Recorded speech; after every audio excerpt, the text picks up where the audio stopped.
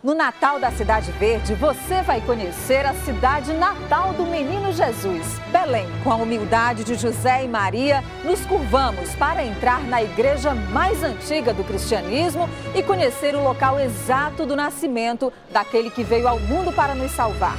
Natal Cidade Verde, a história do Menino Jesus. Dia 18 de dezembro.